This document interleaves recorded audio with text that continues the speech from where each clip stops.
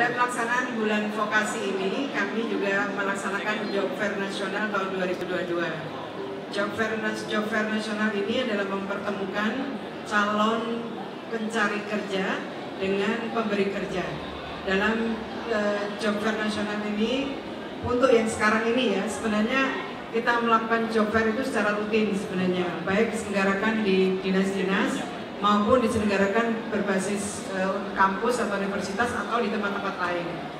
Dan untuk job fair yang kita selenggarakan di JCC ini tersedia lapangan pekerjaan untuk 21.000 lapangan pekerjaan dari 172 perusahaan.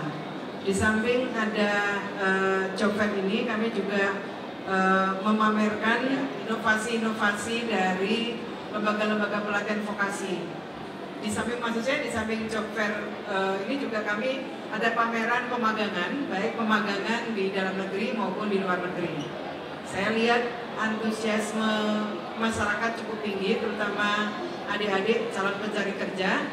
Kalau yang mendaftar baik mendaftar baik online maupun offline itu sudah 100 ribu lebih 100 ribu lebih ini menunjukkan bahwa mereka antusiasme uh, saya berharap perusahaan-perusahaan juga menemukan pekerjanya, calon pekerjanya, dan saya berharap juga para pencari kerja akan mendapatkan kesempatan kerja melalui job fair.